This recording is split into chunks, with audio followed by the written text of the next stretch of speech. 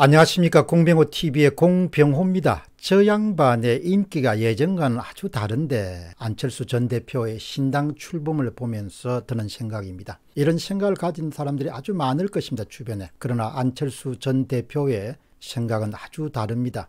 그런 주변의 우려에 대해서 단호하게 선을 껐습니다. 그리고 이렇게 주장합니다. 국민의당이 20대 총선을 치를 당시에 대부분의 언론과 정치 전문가들은 40석 정도를 차지하는 것은 불가능하다고 이렇게 주장했다. 선거 당일까지도 그렇게 주장했지만 저희는 목표대로 그것을 이루었습니다. 사실 어디서든 자기 생각과 자기 확신에 푹 젖어 있는 리더를 설득하는 일은 쉽지가 않습니다. 안철수 전 대표가 착각하고 있는 것은 2019년 2월과 지금이 너무나 다르다는 사실입니다. 시대도 바뀌었고 사람도 바뀌었고 환경도 바뀌었다는 것입니다. 그러나 그런 점을 알아차리지 못한다는 생각을 하게 됩니다.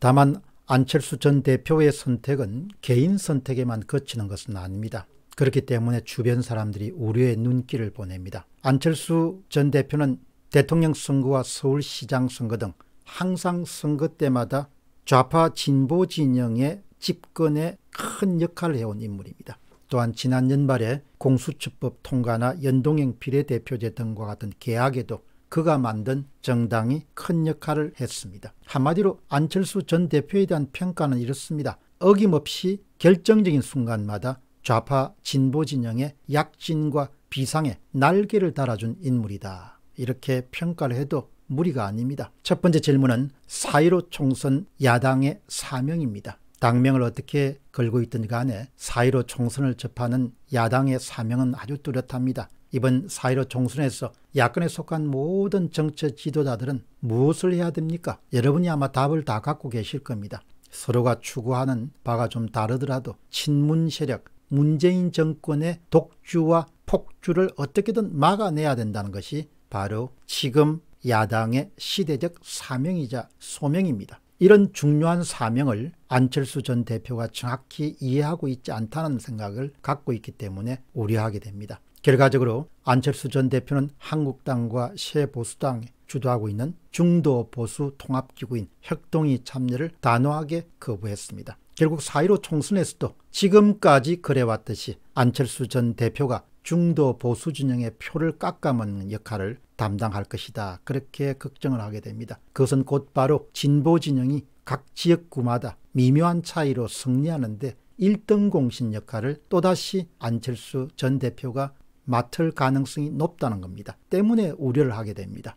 다음은 안철수 신당 출범입니다. 1월 2일 날 안철수 전 국민의당 대표는 국회의원회관에서 안철수의 신당 비전 발표 기자 간담회를 가졌습니다. 그리고 신당 창당에 대한 자신의 구상을 밝혔습니다. 이날 모임에서 그가 내세운 핵심 주장은 다음과 같습니다. 정치 노선으로 실용적 중도를 내세우면서 신당의 비전은 탈이념, 탈진영, 탈지역이다. 이렇게 이야기를 했습니다. 이념 정치를 극복하고 기성정당의 틀과 관성도 앞장서서 파괴할 것이다. 그리고 이런 주장도 더합니다. 옛날 생각에 사로잡혀서 자기 생각을 바꾸지 않는 것이 수구진보, 수구보수 또는 이념파리 등의 모습으로 한국에서 나타나고 있다. 자신이 추구하는 것이 그러니까 안철수 전 대표가 추구하는 것이 너무 모호하다는 그런 비판에 대해서 안철수 전 대표는 발끈해서 이렇게 주장합니다. 그야말로 무식하거나 기득권 정치를 보호하려는 궤변에 지나지 않습니다.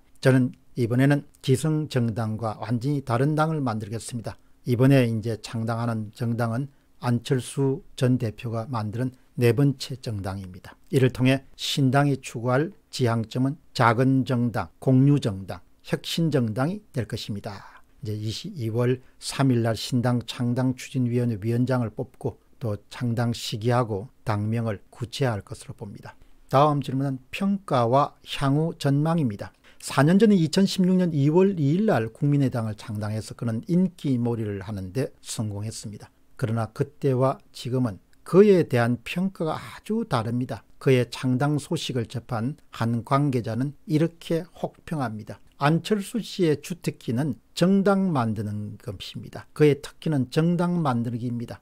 예전에 안철수 씨 같으면 뭘 모르는 국민들이 지지를 했지만 오늘날 안철수는 이미 아는 국민들은 다 알기 때문에 별로 호감을 안 가는 편입니다. 대부분 국민들의 생각이 마찬가지입니다. 특히 호남 지역에서는 배신자라는 말까지 나오고 있습니다. 쓸데없는 대권에 대한 욕심을 버리는 것이 본인으로 보나 국민들로 보나 다 득이 되는 일입니다. 이렇게 혹평을 아끼지 않는 분들도 계십니다.